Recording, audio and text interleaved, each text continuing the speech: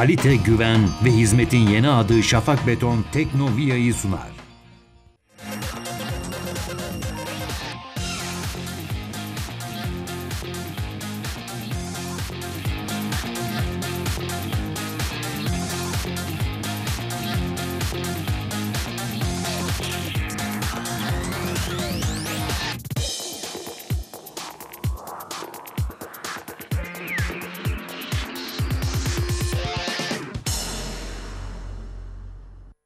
Dünyadaki teknolojik gelişmeleri ön plana çıkartan Teknovia başlıyor.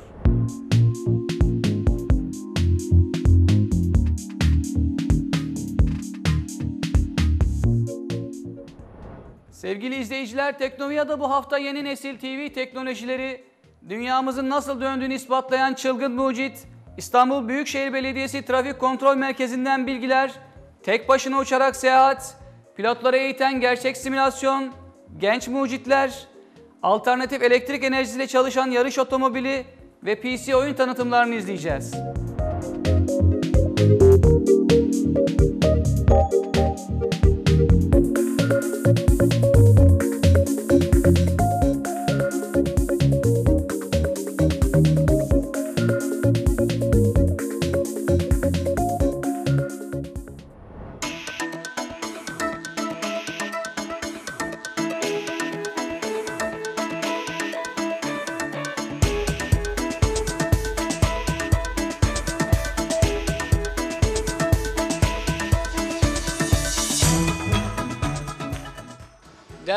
İzleyiciler şimdi yanımızda BİMEX ürün danışmanı İsmail Bey var. HD ve Ultra HD arasındaki farkı bize açıklayabilir misiniz? Tabii ki Full HD ve Ultra HD. Ultra HD bizim eski e, yeni modellerde Ultra HD modellen bir şey var.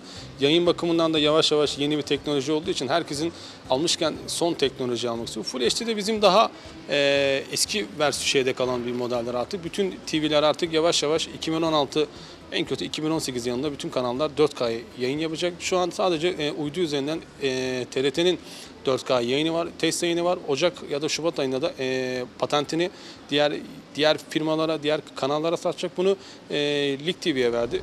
Onlara sattı. 2016 yılında e, sezonunda e, maçları 4K yayın şeklinde yayın yapacaklar. E, Full HD'de sadece bildiğimiz gibi eski bir Full HD bir görüntü izliyoruz ama ekran çözünürlüğü bakımından 4K'nın daha üstün olan bir tarafı var. Çünkü ekran çözünürlüğü daha yüksek. 3840'a 2160 olan bir ekran çözünürlüğüne sahip ve 4K olan bir yani 4 kat daha fazla olan bir ekran çözünürlüğüne sahip.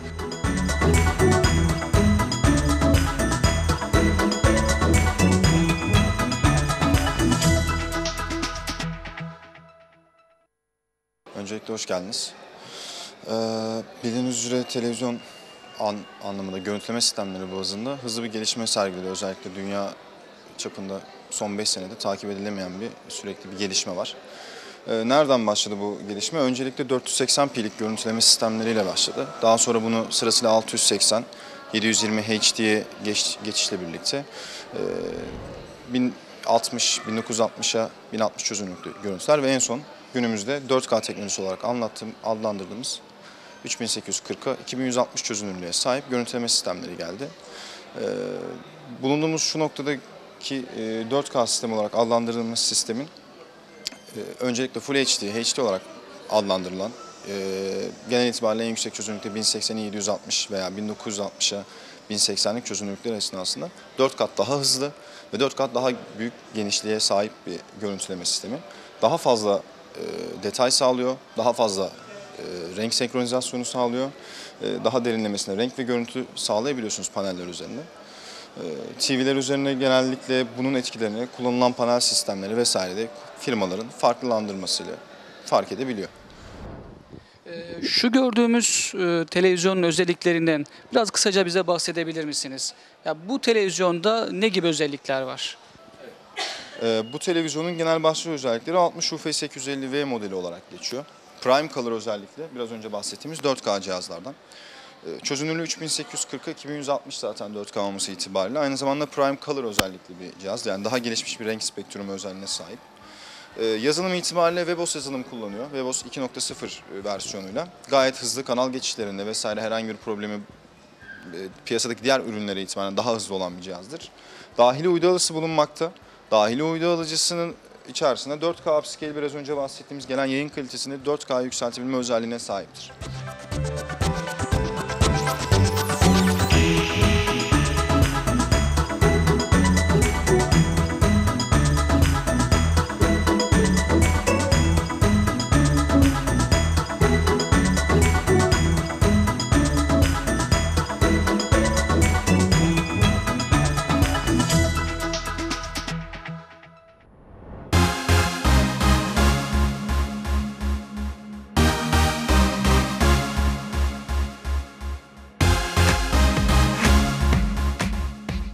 Evet sevgili seyirciler, bu simülatör bir pilotun hiç uçağa binmeden uçağı nasıl kullanacağını öğretiyor. Vasfi hocamıza dönüyoruz şimdi ve simülatörün nasıl çalıştığını, pilotları nasıl eğittiğini öğreneceğiz. Ee, Burada e, düşük yük kapasiteli bir e, uçuş simülatörü önündeyiz. Bu projeye başlarkenki ana problem e, kendileri bazı alt yazılımları yurt dışından alıyorlar. Bu yazılımların en önemlisi de hareket algı yazılımı. Yani bu simülatörü kullanan kullanıcının kendisini hakikaten gerçek bir uçaktaymış gibi hissetmesini sağlayan bir yazılım bu hareket algı yazılımı. E, Bunu yurt dışından aldıkları için burada bir yerleştirme projesi kapsamında biz e, bu çalışmaya başladık. E, Burada amaç aynı zamanda firmalara e, ARGE yetkinliğine sahip elemanların yetiştirilmesi. Bu proje kapsamında iki öğrencimiz, yüksek lisans öğrencimiz ve aynı zamanda lisans öğrencilerimiz de e, projede katkıda bulunuyorlar.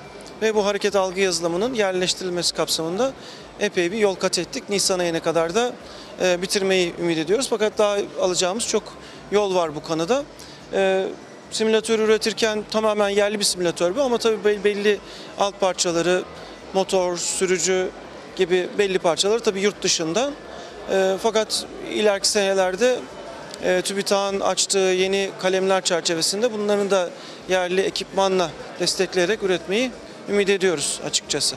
Uçaktaki yaşayabileceğimiz uçağın hareket ettiği sonsuz uzayı düşünecek olursak e, oradaki hareketi böyle küçük bir hareket alanında simüle etmeye çalışıyoruz ve onun yazılımını e, yani kullanıcıyı orada bir tabiri caizse aldatıyoruz açıkçası. E, kullanıcı kendini hakikaten düşüyormuş gibi sonsuz bir uzayda hissediyor. Bu alt yazılımla açıkçası. Bu projenin amacı da bu.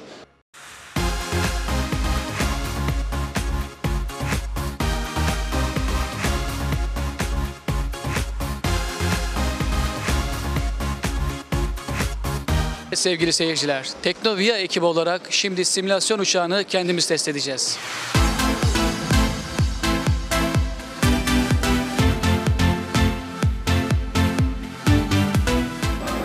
Uçağı düşürüyorum.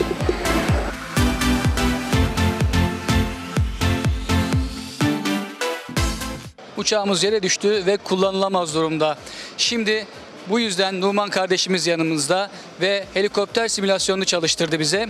Birazdan onun testlerini yapacak ama öncesinde bir helikopter simülasyonu nasıl yapılır kendisinden bilgilerini alıyoruz. Hoş geldiniz tekrardan. Ee, Ben Şemsettin Numan Sözen Yıldız Teknik Üniversitesi Mekatronik Mühendisliği yüksek lisans öğrencisiyim. Ee, düşürdüğünüz uçağa bakım aldık. O bir sıkıntı yok çok şükür. Ee, uçuş simülatörü aslında bir paralel robot manipülatörü. Yani literatürdeki özel adıyla Steward platformu. Ee, bizim projede amacımız projenin e, 6 tane elektrik motoruna bağlı olan bacağının hareket kontrol algoritmasını geliştirmek. Ve bunu Türk Silahlı Kuvvetleri e, Güçlendirme Vakfı'na bağlı olan Havelsan AŞ'ye e, iletimini sağlamak projenin nihai hedefi. Biz aynı zamanda projenin tez öğrencileri olduğumuz için e, literatüre yeni bir e, yöntem kazandırmaya çalışıyoruz projemizde. Helikopter, yolcu uçağı veya savaş uçağı için entegre edebileceğiniz bir algoritma geliştiriyoruz sistemde. Amacımız olabildiğince gerçeğe yakın bir uçuş hissini size sağlamak. Projenin nihai hedefi. Askeri amaçla kullanılan bir e, Sikorsky tipi savaş e, helikopteri. E, bu helikopterin e, çıktıları biraz e, serttir yani uçuş esnasında da çok dikkatli olunması gerekiyor bu helikopter için. E, ki pilotlara olabildiğince gerçekçi bir his uyandırıp onların eğitimlerini daha rahat tamamlayabilmelerini sağlamak amacımız. Bismillah başlıyoruz.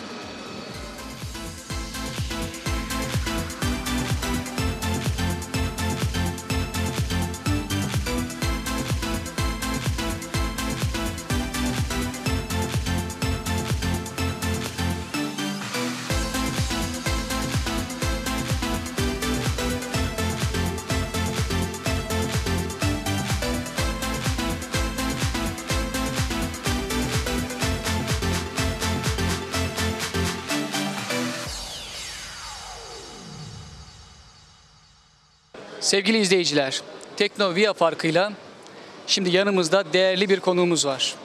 Kendisi Teknopark'ın genel müdürü Mustafa Albayrak.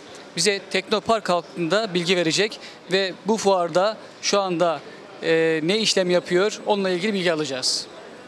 Evet, merhaba. Teknoparkımız e, Yıldız Teknik Üniversitesi Teknoloji Geliştirme Bölgesi olarak e, hizmet veriyoruz. Yaklaşık Davutpaşa kampüsünün içerisinde 113 bin metrekare alanda 276 firma bugün itibariyle yaklaşık 6500'e yakın ARGE mühendisinin çalıştığı bir ekosistem Yıldız Teknopark. E, içerisinde %65'i bilişim ve e, yazılım sektörü olmak üzere Türkiye'de e, biyokimya, efendime söyleyeyim sağlık, e, teknoloji, IT, yazılım gibi çok çeşitli konularda ARGE faaliyeti yapan, e, mühendisleri çalıştıran bir e, alan. E, Yıldız Teknopark olarak yaklaşık e, şu an itibariyle e, bitirilmiş projelerimiz var, e, devam eden projelerimiz var. Biz bugün e, de burada e, Yıldız Teknopark'ın içerisinde var olan özellikle ulaşım sektörüne yönelik çözümler üreten firmalarımızda bugün bu fuar alanında bulunuyoruz. Bildiğiniz gibi bu Transist e, sanıyorum 8.si düzenlenen Transist İstanbul'da toplu taşıma kültürünün arttırılabilmesi için düzenlenmiş bir e, ulaşım kongresi. Bizim de burada daha önce Türkiye'de HGS sistemlerini yazmış olan, araç içi bir takım e, entegre yönetim sistemleri konusunda yazılımlar üreten firmalarımız var. Üniversite bir de, üniversitede bir hocamızın geliştirdiği yine bir simülasyon var. Öğrencilerimizin geliştirdiği akıllı araçlar var. E, Teknopark firmalarıyla çeşitli fuarlara katılıp böyle e, onların e, lansmanını yapmaya çalışıyoruz. Evet. Mustafa Bey, Teknovia olarak Teknopark'ta yapılan yeni gelişmeleri yerinde görmek istiyoruz. Bu konuda bize yardımcı olabilir misiniz? E, tabii ben de burada sizi e, davet etmiş olayım. Bu da benim için bir fırsat oluyor. E, hem o 275 firmanın e, hangi konularda, hangi sektörde Türkiye'nin ihracatına, Türkiye'deki inovasyon geliştirmeye yönelik ne gibi katkıları olduğuna dair yerinde göstermek isterim. Aynı zamanda kuluçka merkezimiz var. Fikirleri olan e, kişilerin, e, fikirleri olan öğrencilerin bu fikirlerini e, icra edebilecekleri alanlar tahsis ediyoruz onlara. E, aynı zamanda bunları da size e, yerinde anlatmak isterim. Bu vesileyle e, en kısa sürede bize ait Teknopark'ımızda görüşmek üzere diyorum. Ee, Değerli izleyicilerimiz, Teknopark'tan da müjdeli haberi aldık. Bundan sonra teknolojinin kalbi Teknopark'ta gelişmeleri an be an sizler için iz- inceleyeceğiz.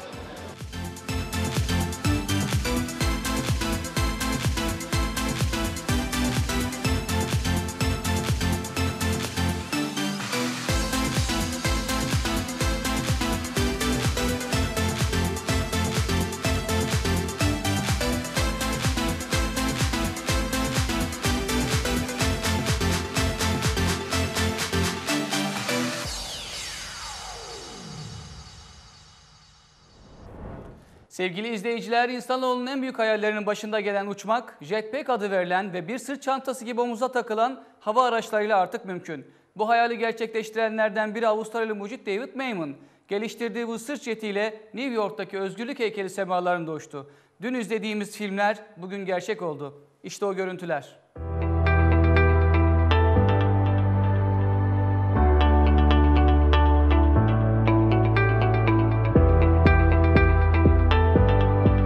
Avustralyalı girişimci David Maven, kendi tasarım şirketi tarafından üretilen sırt roketi GB-9 ile New York'taki özgürlük heykelinin etrafında gösteri uçuşu yaptı.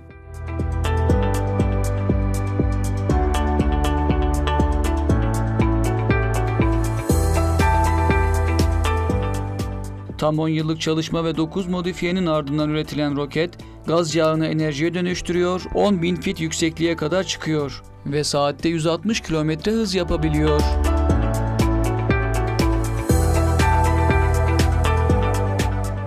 Havada 10 dakika kalabilmeyi sağlayan sırt jetinin mucidi Mayman, icadının kurtarma operasyonlarından suçla mücadeleye birçok sahada kullanılabileceğini ifade ediyor.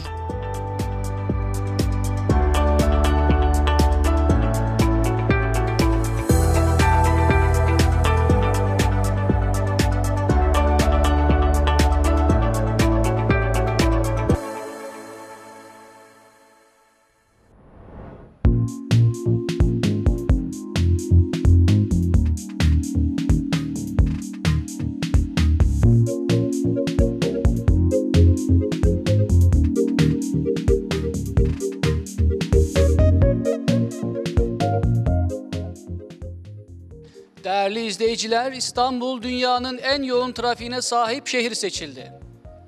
Ve şu anda İstanbul Trafik Kontrol Merkezi'ndeyiz. Trafiğin kalbindeyiz. Ahmet Bey sabah saatin 4'ü sizin buradaki asli göreviniz nedir? Ben burada e, bizim son e, eklenen kameralarla birlikte yaklaşık 600 civarında kameramız var. Bu kameralardan aldığımız verileri e, beni arayan vatandaşlara veyahut da e, nasıl söyleyeyim e, ben gerekli birimlerle irtibata geçerek trafiğin akışını yönlendirilmesini sağlıyorum. Arayan vatandaşlar hangi köprü kullanmamı kullanmamı istersiniz, tavsiye edersiniz diye söylediği zaman ben de birinci köprüde trafik varsa birinci köprü yoğun, ikinci köprüyü kullanın. Veyahut da bir yerde bir kaza varsa ikinci e, kaza olan yeri değil de kullanması gereken en kısa ve en e, iyi yolu kendisine tavsiye ediyorum. İzleyicilerin içi rahat olsun, trafik emin ellerde. E, Gerçekten biz burada kendimizi İstanbul'un trafiğine adamış durumdayız. 7-24 hizmet veren bir birim burası. Gönülleri rahat olsun, trafik bizim elimizde.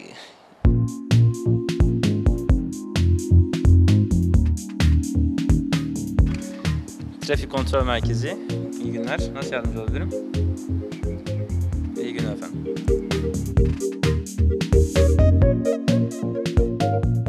Değerli izleyiciler, İstanbul Büyükşehir Belediyesi Trafik Kontrol Merkezi'nde bugünkü mesaimiz Ahmet Bey ile bitti.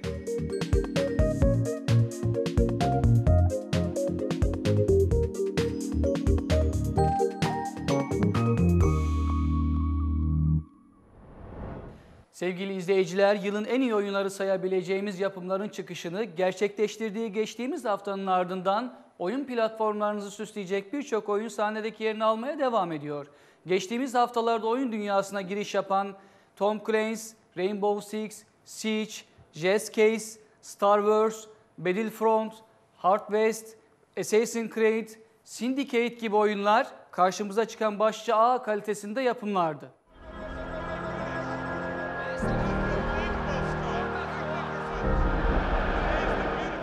Futbol severlerin gözdesi FIFA 16'ya Türkçe dil desteği geliyor. FIFA 16'nın kapağında milli takım formalı Arda Turan ve Barcelona'dan takım arkadaşı Messi yer alacak. Um esporte com os rostos muito diferentes. E onde há beleza, estamos nós.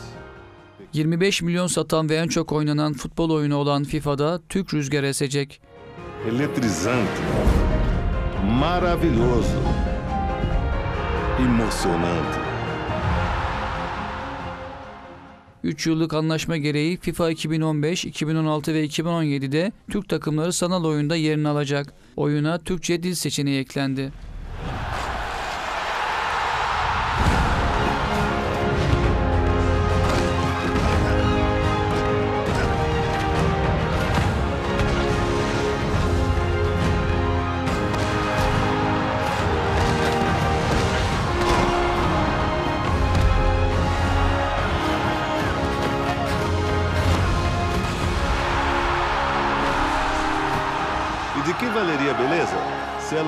Pudesse ser vivida de verdade? FIFA 16. Jogue bonito. Kalite güven Kalite güven ve hizmetin yeni adı Şafak Beton'un sunduğu Teknovia devam ediyor.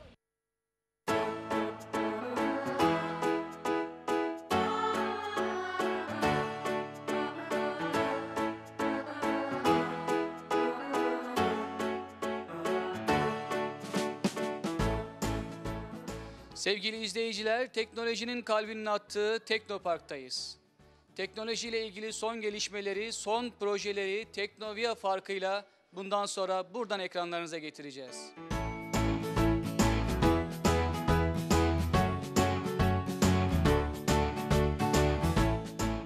Yıldız Kuluçka Merkezi olarak girişimci firmalara üniversitemizin içerisindeki Teknopark'ta yer alan Kuluçka Merkezimizde e, kendilerine ait ofis alanları e, veriyoruz. Bunun yanı sıra internet, elektrik, su gibi herhangi bir giderden dolayı da herhangi bir ücret ödemiyorlar.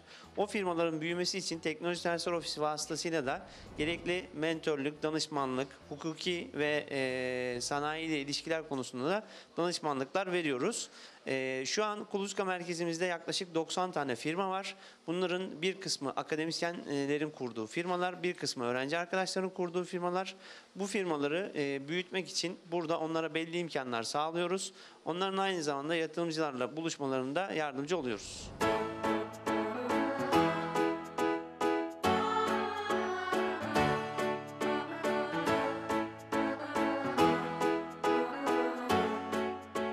Kuluçka firmalarımız genel olarak ARGE ve yazılım projeleri üretiyorlar. Ee, bu projeler kapsamında neler var derseniz e, damar spreyi projesi, e, felçli hastalar için rehabilitasyon robotu, e, görme engellerin kullanabileceği e, tabletleri kullanmaları için bir mobil uygulama e, gibi uygulamaları sayabiliriz. E, bunlar akademisyenlerimizin ya da öğrencilerimizin kurduğu firmalar. Biz de bunları büyütmek üzere onlara destekler sağlıyoruz. Kuluçkamızdaki yer alan firmaların hepsi aynı zamanda teknopark firmalarımız ve teknoloji geliştirme bölgesinin sağladığı muafiyetlerden faydalanıyorlar. Bunlar nelerdir? Personel gelir vergisi, e, SGK e, giderinin yarısını ödeme gibi e, avantajlar mevcut. Biz Kuluçka'ya nasıl alıyoruz projeleri? Kuluçka merkezine önce e, girişimciler başvuru yapıyorlar. Bir Kuluçka komisyonumuz mevcut. O komisyon vasıtasıyla e, o komisyonun sunumlarını yapıyorlar ve komisyon onların e, projelerinin gerçekten bir ARGE ya da yazılım, niteliği olup olmadığını e, dinliyor. Daha sonrasında eğer girişimci firma bir devlet desteği almış ise direkt Kuluçka'da ona ofis vererek çalışmasını e, çalışmaya başlamasını sağlıyoruz. E, Eğer ki e, devlet desteği almamışsa burada akademisyenlerden oluşan heyete tekrar bir proje formatında sunum yaptıktan sonra eğer kabul görürlerse çalışmaya başlıyorlar.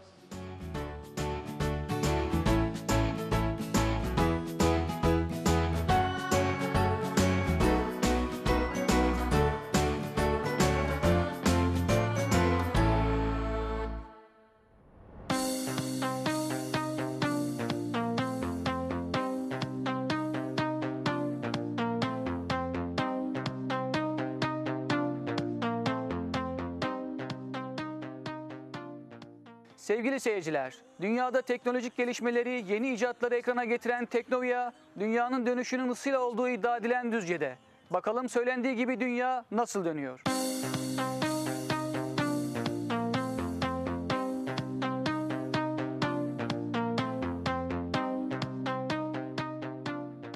Burada görmüş olduğunuz dünyayı döndüren gücün çekim gücü olmadığını iddia ettiğim için buharlaşma olduğunu kabul ettiğim için bir sistem yaptım. Ve sistemin üzerinde deneyler yaptık.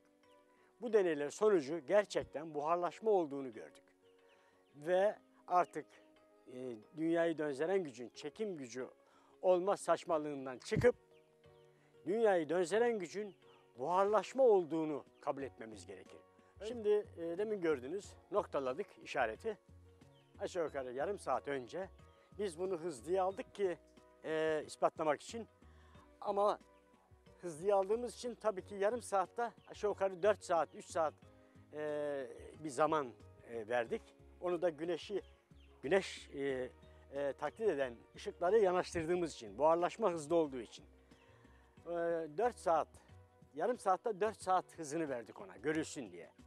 E, şimdi burada da görüyorsunuz, şuradaydı ve buharlaşma devam ettiği için buhar bu tarafa konuyor, şu tarafa konuyor ve ağırlık dengesini burada merkez olduğu için ağırlık dengesi şaşıyor. Burası hafifliyor, burası ağırlaşıyor. Bu nedenle de dengeyi sağlamak için de dönme başlıyor. Ve bu dönme aynı sürekli olduğu için yani güneş buharlaşmasını devamlı yaptığı için dünyamız 24 saatte bir tur dönmesine sebep oluyor.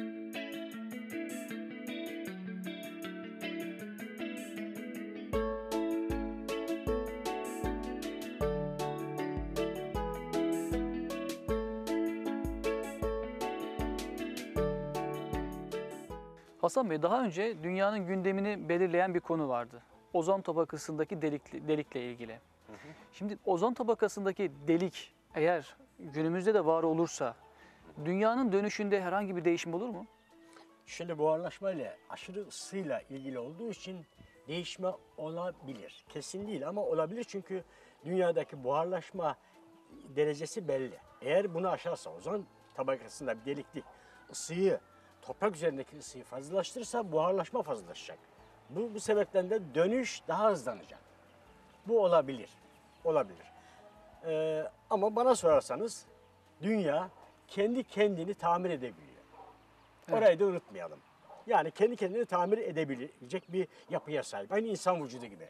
Bağışıklık sistemimiz nasıl çalışıyorsa dünyanın da bağışıklık sistemi aynı şekilde çalışıyor. Yani dünya böyle bir zora kaldığımızda kendi kendini düzeltme yapabilir. Tabii ki aşırı aşırı e, kirletirsek, aşırı dünyayı e, ozan tabakasını daha büyütürsek tabii ki dünya ona hiçbir şey yapamaz ve yok olmayla mahkum oluruz. Peki Hasan Bey burada e, bu icadınızda e, yapmış olduğunuz testler sonucunda gerçekte 24 saatteki süreyi yakalayabildiniz mi? Yakaladık. Zaten onun için buna çok iddialı oldum. Yalnız yarım saat oynadı. Bu yarım saatin sebebi buradaki açıklıklar. Yani buharın dışarıya çıkması. Buhar çıkması gerekiyor çünkü ampuller yanmaz. Isı, oksijen lazım olduğu için bir oksijen girmesi lazım. Bu nedenle de fazla e, kapatamıyoruz. Oradan çıkan buhar sebebiyle yarım saat oynadı. Yaptığımız testte. 48 şu- saatte. Peki buradan şunu anlayabilir miyiz? Eğer e, bir delik olursa, stratosferde ya da atmosferde bir delik olursa, buharlaşma uzaya doğru e, Giderse- kaçarsa, Evet, e, o zaman dünyanın dönüşünde dönmesinde sıkıntı olur. Yani dünya 24 saatte bir tur değil belki 12 saat yavaş yavaş saatlerce düşecek. Bu sefer dünyanın bir tarafı karanlık, bir tarafı gece gündüz değişimleri, tabii mevsimlerin mevsimlerin bozulması haftaların tamamen tamamen tamamen mevsim diye bir şey kalmaz zaten. Çünkü sabit oluyor. Dünya duruyor, bir tarafına güneş vuruyor. Ve su diye bir şey kalmaz, buharlaşma diye bir şey de kalmaz. Hasan Bey, yapmış olduğunuz bu çılgın icat sayesinde dört mevsim olarak gözlem yapabildiniz mi? Çok güzel değindiniz. Dört mevsimi meydana getiren olay yine nem olayı. Yani karanlık tarafa konan nem, yani şöyle ka- tabir Evet. Nem, e, güneşten dünya uzaklaştıkça nem konması fazlalaşıyor. Ve nemin konduğu yer ağır basıyor. Ağır basıyor, bu sefer güneşe doğru ittiriyor. Ve güneşe doğru ittirirken bir şey çiziyor. Bir e, yan çizme yapıyor. Yani şöyle bir güneş buradaysa bu şekilde bir daire oluşturuyor. Evet. Bu güneşe yaklaştığı zaman buharlaşma fazlalaşıyor. Bu sefer ittirme başlıyor. Yani nemin nemin gücünü daha yeniyor. Şurada gördüğümüz nem aslında Evet. onun ispatı. Bunun ispatı. Buradan e, küreyi diğer tarafa doğru ittiriyor, ısıya doğru ittiriyor, ısıya doğru- ve döngü bu şekilde devam ediyor. Bu şekilde devam ediyor. Dört mevsiminde ortaya çıkması zaten bizim e, dünyayı döndüren gücün nem olduğu, buharlaşma olduğunu tamamen kanıtlıyor.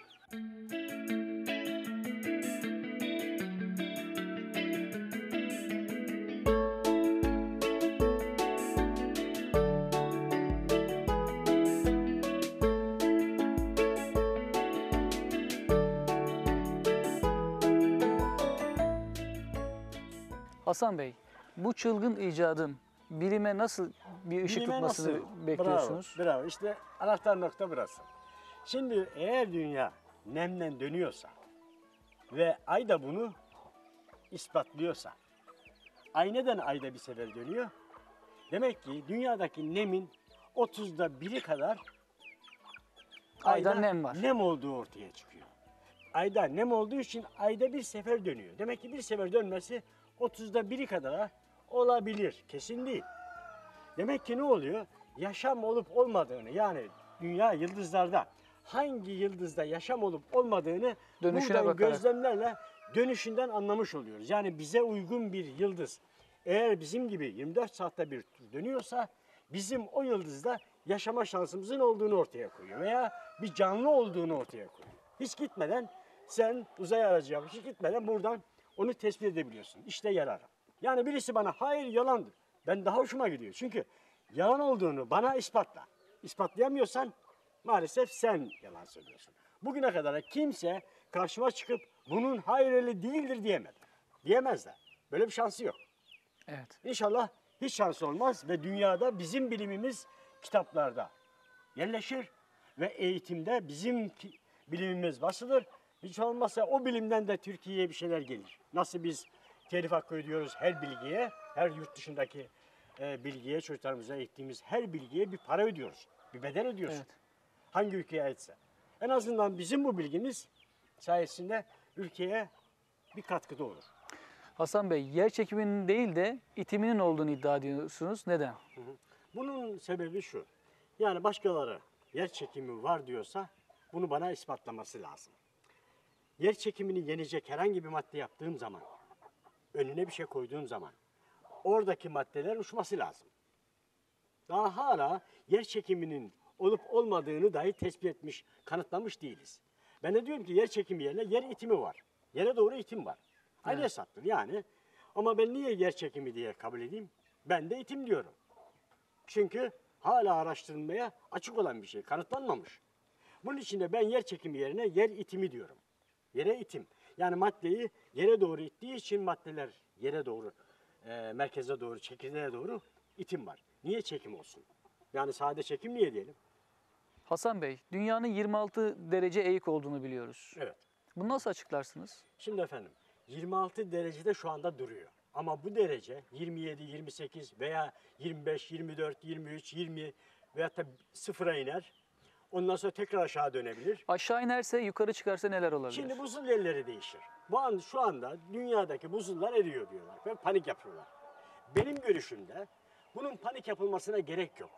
Eğer buzullar dünyada bir dönme varsa yani 26 dereceden 25'e çıkmışsa veya 24'e çıkmışsa buzullar haliyle eğilecek ve kilometrelerce yüzlerce kilometre yer yapabiliyor bu alan. Buradaki karlar, buzlar eriyebilir. Ama bu erimeyle beraber dünyaya herhangi bir şey değil. Diğer tarafta buzlanma başlıyor.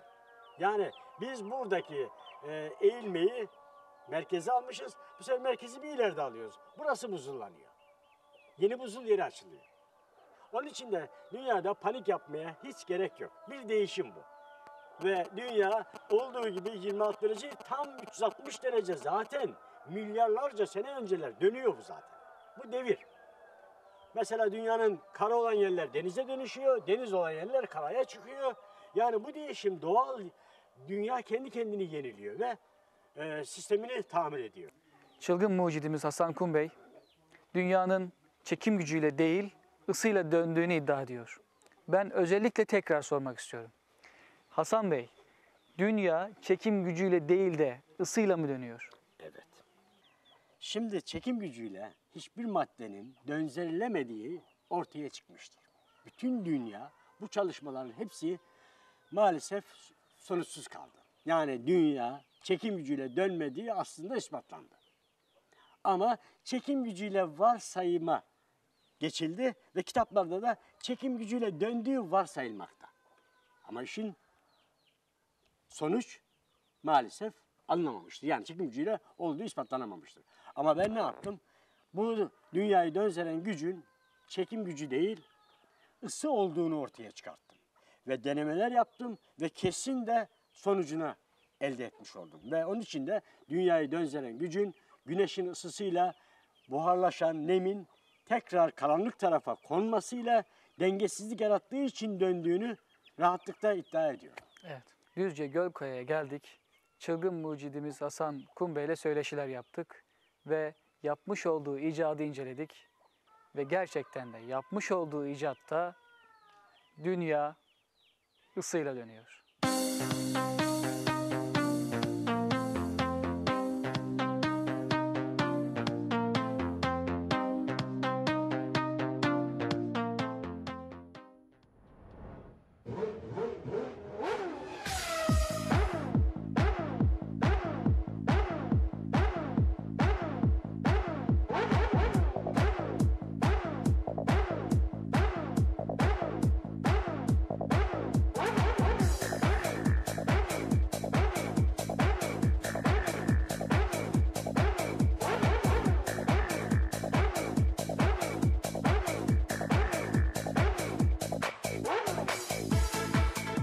Sevgili izleyiciler, Teknovia farkıyla alternatif enerji ile çalışan bir otomobili inceleyeceğiz.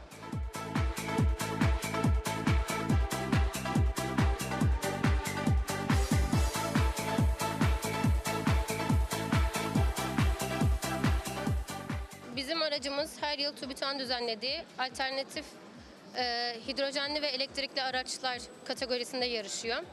E, bu aracımızda geçen sene TÜBİTAK yarışlarına katıldık ve Türkiye üçüncülüğü elde ettik. E, bu araçlarda amacımız verimlilik üzerine, e, hız üzerine değil. E, ne kadar az sürede, ne kadar az enerji yakarsak bizim için o kadar iyi.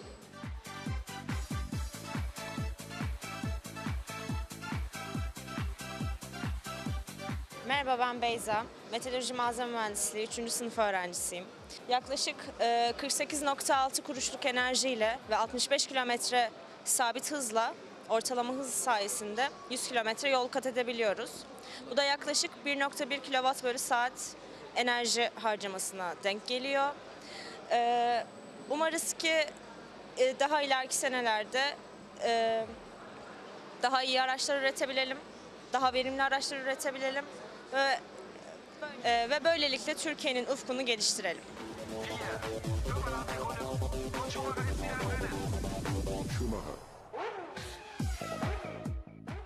Merhabalar, adım Muhammed. Yıldız Teknik Üniversitesi Elektrik Mühendisliği 3. sınıf öğrencisiyim. Alternatif Enerjili Sistemler Kulübü'nde enerji yönetim sistemleri e, dalında uzmanlaşmak istiyorum. E, aracın teknik detaylarından bahsedeceğim şimdi size. Aracımız tamamen alternatif enerji ile çalışır ve herhangi bir emisyonu yoktur. Yani karbondioksit çıkışı yoktur patlamalı motorlar gibi. Motorumuz e, sabit mıknatıslı motordur.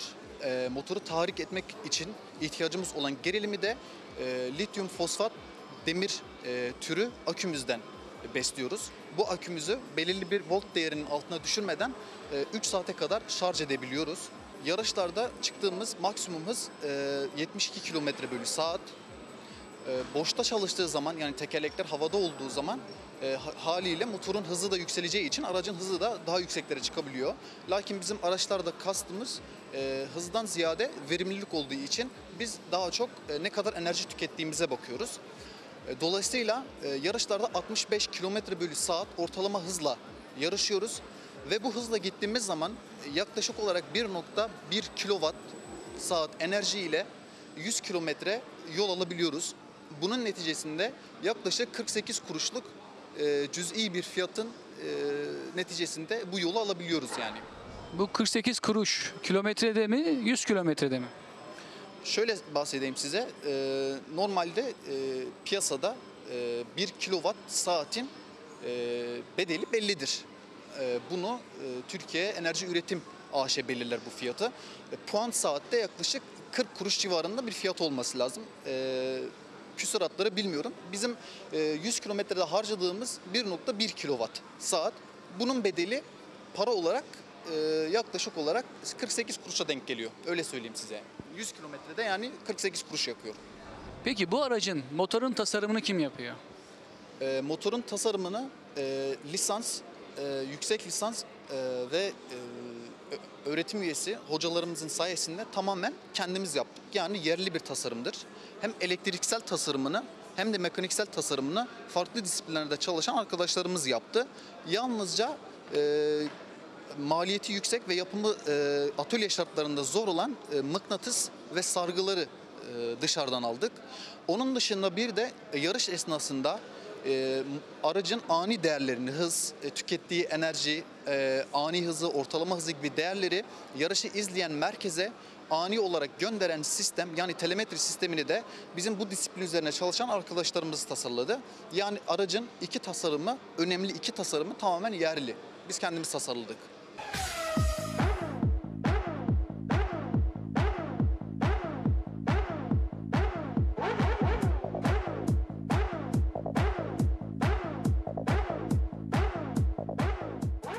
Merhaba, e, ben Yıldız Teknik Üniversitesi İnşaat Mühendisliği bölümünün öğrencisiyim. Aslında bu çok böyle e, ilginç olacak bir şey değil. Çünkü bu arada ben kulübün sponsorluk ve finans sorumlusuyum. Kulüpte işimde, görevimde medya ve halkla ilişkiler ve sponsorluk olayında teknik anlamdan daha çok e, detaylandırma amaçlı. Ama e, benim kendi mühendislik anlayışıma göre enerji artık geldiğimiz teknolojide herhangi bir sektörün veyahut da herhangi bir kurumun kendi yararlanabileceği bir şey olmaktan daha çok bütün sektörlere hitap eden bir duruma geldi. Bunu ben kendi sektörümde de akıllı evlerde, akıllı e, iş makinalarında da görebiliyorum. Yani bugün bu sektördeyim ama yarın öbür gün kendi sektörüme gittiğimde burada edindiğin tecrübelerin hiçbir şekilde e, boşa gitmeyeceğinden emin olduğum için zaten bu kulüpteyim. Evet sevgili izleyiciler, bir grup genç bir araya gelmişler ve böyle bir mükemmel işi ortaya çıkarmışlar. Siz de eğer bunu da ben yaptım diyorsanız, böyle bir mükemmel iş çıkardıysanız siz de altta görmüş olduğunuz, ekranın altında görmüş olduğumuz iletişim numaralarımızdan ve bilgilerimizden bize ulaşabilirsiniz.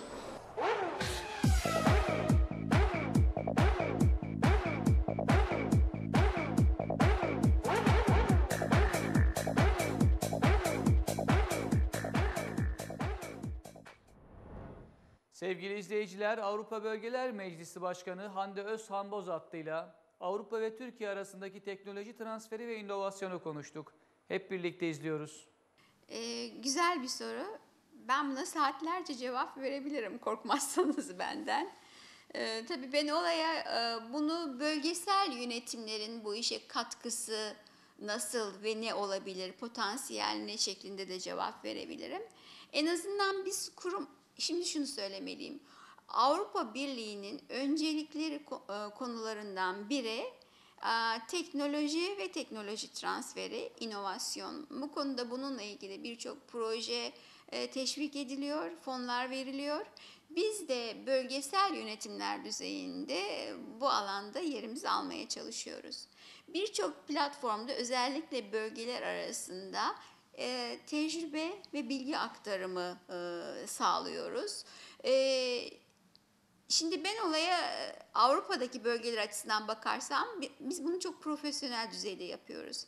Birçok profesyonel ortamda bölge yöneticilerini, e, bürokratlarını ve teknik kişileri e, özel sektörü bir araya getirip e, paylaşımlarda bulunup projelere katılma birlikte ve fondan yararlanma şeklinde kolaylıklar sağlıyoruz. Türkiye açısından e, bu bence henüz benim en azından istediğim düzeyde değil. Bunu daha fazla arttırabiliriz. E, tabii Türkiye'nin o nedenle bu tür platformlarda, uluslararası, bölgeler arası platformlarda daha çok yer alması, bir de bu tecrübe değişimlerini yaparken e, bunu kullanabilecek yetişmiş elemana ihtiyacı gerekiyor.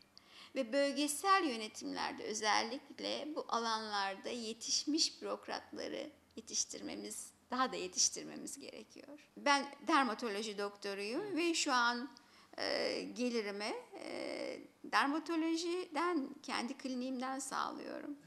E, siyasetteyim çünkü bunu aslında bu ülkenin her yetişmiş e, insanının, hele siz gençlerin daha çok vazifesi olduğunu, sosyal bir sorumluluğu olduğunu düşünüyorum. Tıpta teknoloji çok hızlı ilerliyor.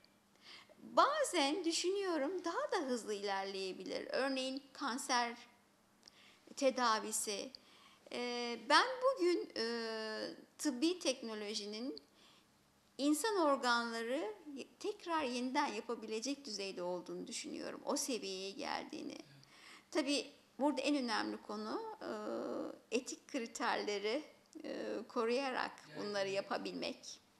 Şu an özellikle medikal turizmi düşündüğünüz zaman e, Avrupa'daki ülkeleri de kıyasladığım zaman Türkiye'nin açıkçası hastanelerinin durumunu, doktorların eğitim durumunu hiç hafife almamak lazım. E, o kadar iyi olduğumuz branşlar var ki örneğin göz hastalıkları olsun, diş hekimliği olsun.